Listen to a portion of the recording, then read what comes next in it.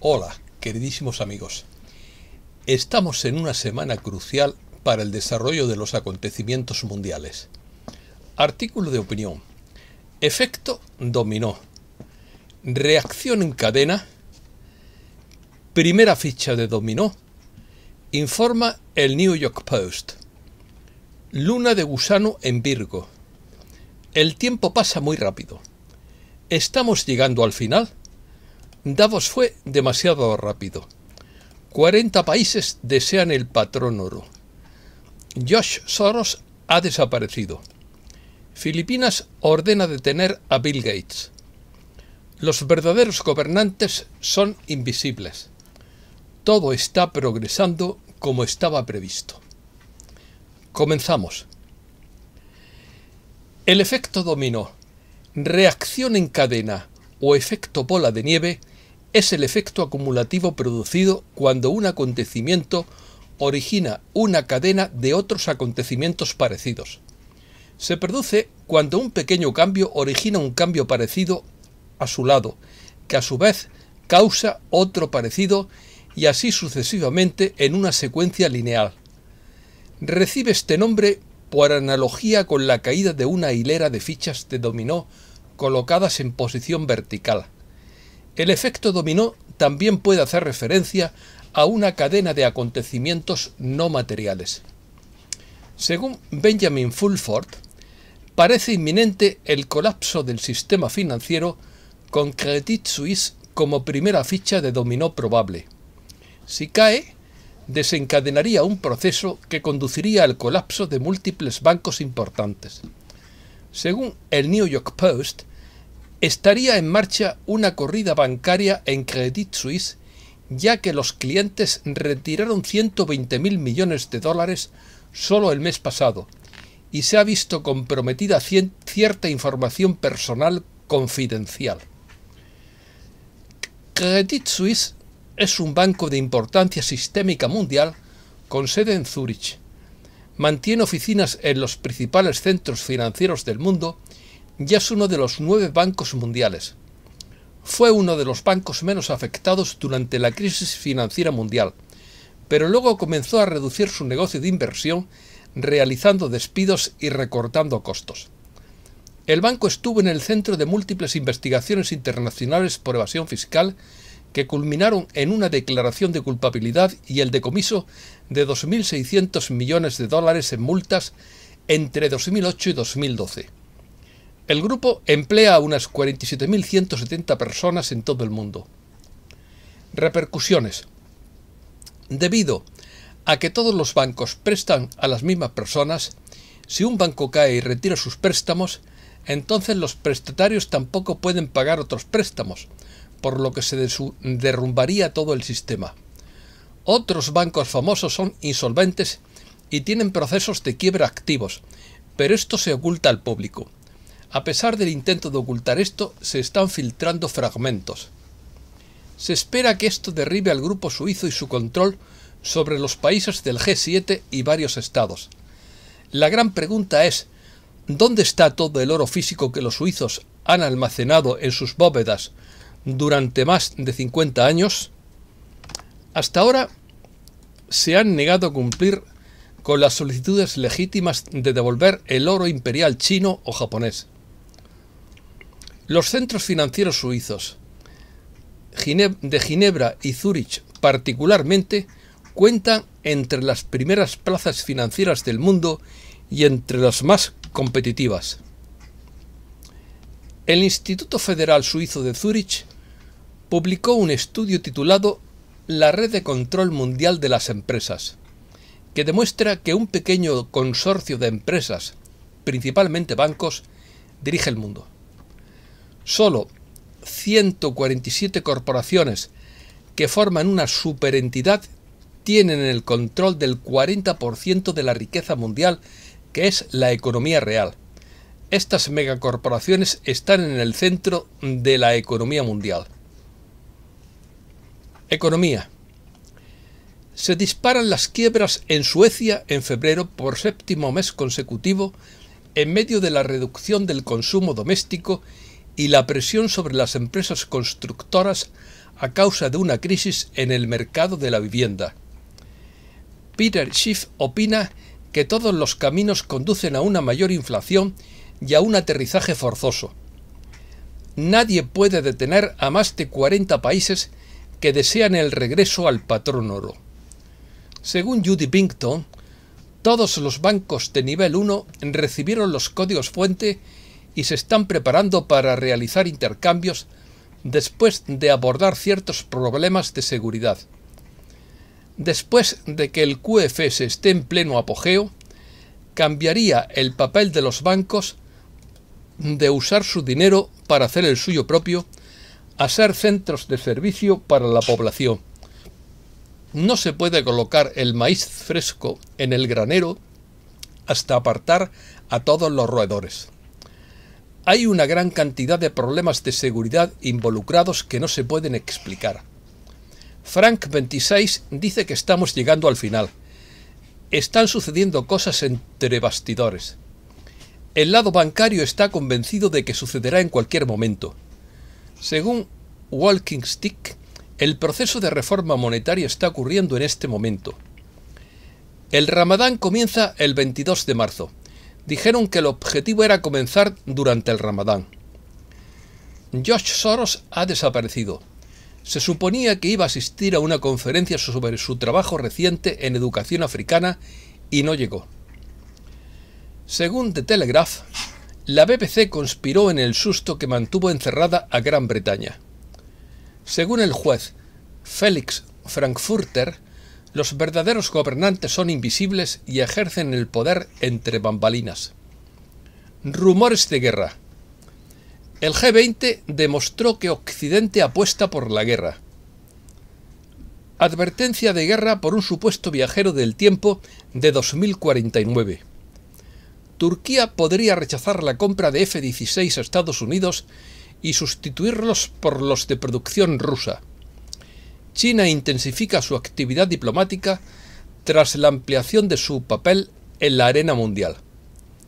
Según Sorchafal, el Ministerio de Defensa británico publicó un documento titulado Relatos del Mañana, explorando las nuevas tecnologías a través de la ficción útil, en el que narra cuentos futuristas como que los rusos robaron tecnología de mejora biológica para los soldados del Ministerio de Defensa británico. Según Sorchafal, Estados Unidos se enfrenta a una elección mortal histórica de perder el mundo para salvarse a sí mismo. USA. Las personas a cargo de la administración Biden anunciaron que el control gubernamental del contenido de Internet forma ahora parte del aparato de seguridad nacional. Según el informe X22, Trump anuncia que la economía está a punto de cambiar y que vamos a dar un salto cuántico en la forma de vida. Todo está en movimiento y nos estamos moviendo hacia una nueva economía. Un tribunal de Filipinas emitió una orden de arresto internacional contra Bill Gates. Una abuela sin hogar en Irlanda ha sido condenada a 16 semanas de cárcel por ingresar a un hotel que alberga solo a refugiados ucranianos. Opiniones. La luna llena de hoy 7 de marzo se llama luna del gusano en Virgo y puede producir síntomas de energía extrema. Coincide con la entrada de Saturno en Piscis. No hay vuelta atrás, este es el juego final y hay un salto cuántico en el estilo de vida. Se ha roto el lavado de cerebro y a medida que avanzamos por este camino, se despertarán más y más personas. Según Ana y los ángeles, el Creador mueve las estrellas en órbitas perfectas, organiza ecosistemas enteros, inspira a las células de tu cuerpo a mantener el equilibrio y si te vuelves receptivo a sus deseos, te inspirará en un camino gozoso hacia tu realización. Transformación. La guerra por el dólar ya terminó, según Tom Luongo. El plan de Davos es bastante obvio. Entregar las llaves de, la formación de capital a los bancos centrales y destruir toda evaluación de riesgos. Esto es, lo que Christine Lagarde quiere con su nueva bolsa de valores verde europea que presentó en Ankara la semana pasada. Pero lo que me queda claro ahora es que Davos fue demasiado rápido a la noche del baile de graduación. Es demasiado pronto y la aceleración está dejando al descubierto sus flancos. Vísteme despacio que tengo prisa. Según Crow Rising, el mundo se está desmoronando y el nuestro se está construyendo. Su mundo se basa en ideologías de quiebra. El nuestro está arraigado en la verdad sobre la libertad y la realidad. Su mundo solo puede mirar hacia atrás a los días de gloria. El nuestro mira hacia el futuro que estamos construyendo para nosotros mismos. Según Perro Poeta, los dedicados a la ejecución del mal sobre los demás a menudo llegan a una forma de autofagia compulsiva. El barco de la perversidad se ha disparado en los últimos años y se ha extendido en tantas direcciones que pronto se hundirá por las leyes de la física. El circo de los monstruos va a llegar a su final en el sentido más amplio. Comentarios cósmicos por Bennett Ross. Todo lo que entra en tu realidad se basa en frecuencias anteriores porque sigues reimprimiendo los mismos códigos. Las frecuencias no solo tienen una resonancia, sino también un código de números y geometrías específicas. Las cambias con acciones, pensamientos y emociones. La sincronicidad resulta de cómo estás reimprimiendo tus emociones y pensamientos. Quieres convertir lo negativo en positivo, pero la frecuencia debe ser potente para crear un nuevo impulso. Progreso. Puff dijo, podemos asegurarles nuevamente que todo está progresando y todo está sucediendo a su debido tiempo. Los jugadores están arriesgando un poco todo, pero luego tienen que hacerlo porque esa es la agenda de este juego. Estamos ayudando con los que se ayudan a sí mismos. El estancamiento que ha estado frenando todo se ha levantado. Y los sombreros blancos detrás de la escena están dejando que todos sepan que se relajen. Los otros sombreros han sido los culpables de todo esto. Todo está progresando como estaba previsto, aunque no al ritmo prometido. Informe semanal de la oficina de Pufnes. Para comprender cómo y por qué es inevitable el reinicio financiero mundial, debemos observar la actividad de las divisas a nivel mundial. Lo que estamos viendo en la actividad global es la integración de monedas separadas dentro de regiones en monedas unificadas. Un ejemplo notable de esto es la adopción del euro. A partir de 2023, 20 países de Europa utilizan el euro en lugar de sus monedas locales. Ocho países de África Occidental desde 1945 utilizan una moneda común llamada franco CFA, colonias francesas en África. Otros seis países centroafricanos han adoptado el franco CFA. La CFA significa ahora la Comunidad Financiera Africana. Se cambió el nombre a ECO, en 2019 y se vinculó al euro, pero la aplicación se retrasó hasta 2027. En 2008, las naciones centroamericanas acordaron crear una moneda única para la región, pero a partir de 2023 aún no ha sucedido.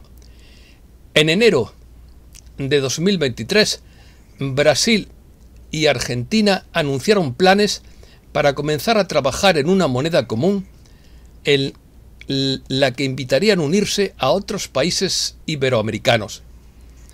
Ves el mismo comportamiento en la moneda en Asia, Asia Menor, Oriente Medio y las naciones eslavas.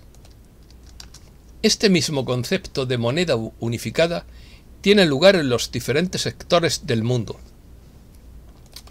Los beneficios de hacer esto facilitan la comparación de precios y hacen que sea más barato y seguro para las empresas comprar y vender dentro de su área. La desventaja es que un país endeudado ya no puede devaluar su propia moneda para hacer que los bienes sean más atractivos para los compradores de otros países. Hay 180 monedas en el mundo que circulan en 197 países. Las 10 divisas principales que se negocian a diario cubren el 90% del uso mundial de divisas, siendo el dólar más del 50 y del 90%. Al unificar las monedas por sector, se fortalece su demanda y disminuye la dependencia de moneda extranjera en las economías de sus respectivas naciones, eliminando así la manipulación e influencia extranjeras en sus asuntos soberanos. El reinicio financiero mundial solo tiene que afectar a una parte de las 180 monedas para aplicarse. El objetivo es nivelar el campo de juego para el coste de los bienes y servicios y asegurar la soberanía de cada nación. Se reducirá la necesidad de un país de sobreimprimir su moneda y de destruir su propia economía. El desplome financiero de la economía de cualquier nación tiene efectos en cadena a nivel mundial. Esto es todo y muchísimas gracias queridísimos amigos.